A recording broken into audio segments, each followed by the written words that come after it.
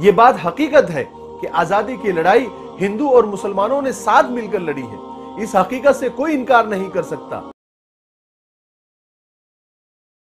सारे हिंदुस्तान को बिल वास्ता या बिला वास्ता कब्जा करने के बाद अब अंग्रेज़ों का निशाना दहली का पाए तख्त था, जहाँ मुगलिया सल्तनत का आखिरी चिराग टिमटिमा रहा था। 1803 में अंग्रेज़ों ने दहली पर कब्जा किया। यहाँ भी सोची समझी और तयशुदा पॉलिसी से काम लिया गया। यानी बादशाह को तख्त ताज के साथ बाकी रखते हुए सिर्फ़ इख्तियारात ईस्ट इंडिया कंपनी के तस्लीम करा लिए गए। और उसकी ताबीर इस तरह की गई कि खल्क खुदा की, मुल्क बादशाह सलामत का और हुक्म कंपनी बहादुर का। जैसे ही अंग्रेज़ों का दबदबा शुरू हुआ, उनकी हुकूमत शुरू हो गई, ताकत मिली। उन्होंने सबसे पहले इस्लाम को मिटाने और इस्लाम की शनाख्तों को मिटाने पर अपनी पूरी ताकत सर्फ करना शुरू कर दी। मस्जिदों पर हमले, मदरसों पर हमले, दीनी कुतुब खानों पर हमले, उलमा को कैद करना, उनको शहीद करना, ये सारे काम, ये सारे जुल्म उन्होंने शुरू किए। इन्हीं हालात में हज़रत शाह वली मुहद्दिस दहलवी रहमत के फर्जंद जानशी, हज़रत शाह अब्दुल अज़ीज़ मुहद्दिस दहलवी रहमत ने एक फतवा जारी किया जिसमें हिंदुस्तान को दारुल हर्ब होने का ऐलान किया और अंग्रेज़ों से जिहाद करने का फतवा जारी किया।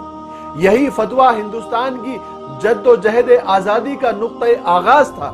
इसीलिए तो आज फिरका परस्त फतवों से डरते हैं, उनको बदनाम करने की कोशिश करते हैं। हज़रत शाह अब्दुल अज़ीज़, मुहद्दिस दहलवी रहमत के फतवे के असरात ज़ाहिर होना शुरू हो गए। अवाम में अंग्रेज़ों के खिलाफ गम गुस्सा परवान चढ़ने लगा। उनके खिलाफ कोशिशों का बाकायदा आगाज़ हो गया। इन्हीं में से एक कोशिश हज़रत सैयद अहमद शहीद रहमत की तहरीक थी। आपने हर इलाके का दौरा किया और लोगों में दीनी शूर और अमली तौर पर लोगों को अंग्रेज़ों से मुकाबले के लिए तैयार किया। चुनानचे मौरख लिखते हैं कि आज़ादी के परवानों और खल के खुदा का ये छोटा सा काफिला, जिसकी तादाद 50 थी, जो 1813 में दहली से रवाना हुआ हमागीर, समाजी और माशी इनकलाब, इनका नस्बुल आयन था, मकसद था, जहाँ जहाँ आपका काफिला पहुँचता, वहाँ वहाँ ईमानी बहारें आ जाती, ईमान अखलाक और इसलाह तरबियत का पैगाम आम हो जाता।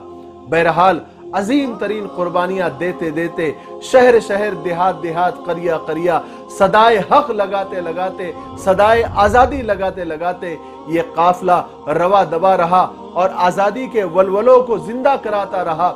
यहाँ तक कि इनकी तादाद 300 हो गई। इन 300 जियालों ने अपने कायद सैयद अहमद शहीद रहमत और शाह इस्माइल शहीद रहमत की क्यादत में 13 मई 1818 में बालाकोट में जाम शहादत नोश फरमाया। 19 सितंबर अठारह में जब दहली में बहादुर शाह ज़फ़र को गिरफ़्तार कर लिया गया और दहली पर अंग्रेज़ों का मुकम्मल कब्जा हो गया तो हर तरफ़ जुल्म, सितम, कत्ल गारत गिरी आम हो गई। उस वक्त उम्मत के जिन जियालों ने आज़ादी की तहरीक अपने कंधों पर ली, उनमें हाजी इमदादुल्ला मुहाजिर मक्की रहमत और आपके मुरीदान बावफा हज़रत मौलाना कासिम नानोतवी, हज़रत मौलाना रशीद अहमद गंगोई हाफिज जामिन शहीद रहमत वगैरह हैं। इनके बाद इनके शागिर्दान बावफा शेखुल हिंद, हज़रत मौलाना महमूद हसन रहमत शेखुल इस्लाम मौलाना हुसैन अहमद मदनी रहमत वगैरह है। इनके अलावा इमामुल हिंद, मौलाना अबुल कलाम आज़ाद, मौलाना मोहम्मद अली जौहर और भी बेशुमार उलमा और मुस्लिम आवाम ने अपने खून जिगर से इस गुलशन की आबियारी की और जानों का नजराना पेश करके इस मुल्क की आज़ादी को यकीनी बनाया। शेखुल हिंद रहमत ने तहरीक रेशमी रुमाल शुरू की। आज़ादी के लिए माल्टा की जेल में तकरीबन तीन साल, दो महीने, तेईस दिन कैद की सऊबतें बर्दाश्त की और इसी दौर में तरह तरह की तकलीफों से गुजरे। आप ही के शागिर्दों ने आज़ादी वतन के लिए नवंबर 1919 में जमीयत उलमा हिंद का क्याम अमल में लाया। गर्ज के हर तरह की कुर्बानियाँ देते हुए और इस मिशन आज़ादी और तहरीक आज़ादी को कामयाब बनाने के लिए हर तरह की तदबीरें इख्तियार करते हुए आगे बढ़ते रहे। यहाँ तक के मुसलमानों के साथ बिरादरान वतन को भी शरीक किया, महात्मा गांधी को साथ लिया और हमारी इन्हीं बेलौस मुसलमानों की बेपनाह कुर्बानियों के नतीजे में 14 और 15 अगस्त की दरमियानी शब में हिंदुस्तान की आज़ादी का ऐलान हुआ। मुसलमानों, याद रखो 15 अगस्त के बहाने, यौम आज़ादी के बहाने, इससे चंद दिन पहले और चंद दिन बाद तक अपना मौजू गुफ्तगु ये बनाओ कि जंग आज़ादी में मुसलमानों की क्या क्या कुर्बानियाँ थी की क्या क्या कुर्बानियाँ थी, उनका तस्करा करो। हमारी एक अजीम शान तारीख रही है, जिनके कारनामों से कुतुब खाने भरे पड़े हैं। इस मुल्क का जर्रा जर्रा उनका चश्मदीद गवाह है। जिसका एतराफ हिंदुस्तान के पहले वज़ीर आज़म जवाहरलाल नेहरू ने बिहार पटना के एक जलसे में किया और कहा कि सिर्फ़ की कुर्बानियों को एक पलड़े में रख दिया जाए और दूसरे पल्ले में पूरे मुल्क के लोगों की कुर्बानियों को रख दिया जाए तो ओलमा की कुर्बानियों का मुकाबला नहीं किया जा सकता। ये हमारा मिफ्ताही तलबीना है, ये नबवी नुस्खा है। आप सल्लल्लाहु अलैहि वसल्लम ने फरमाया, ये पेट की बीमारियों के लिए बहुत मुफीद है।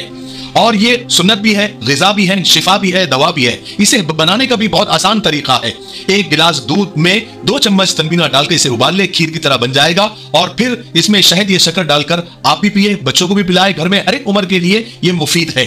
स्क्रीन पर आ रहे नंबर पर आप कॉल करें, आप दुनिया में कहीं भी हो, ये आप तक पहुँचा दिया जाएगा। ठीक है? एक से ज़्यादा लेंगे तो कुरियर फ्री है। अगर आप डिस्ट्रीब्यूटर बनना चाहते हैं, तब भी इसी नंबर पर आप कॉल करें। मुझे उम्मीद है कि आप ज़रूर एक मरतबा क्यों नहीं होता, आप खरीदेंगे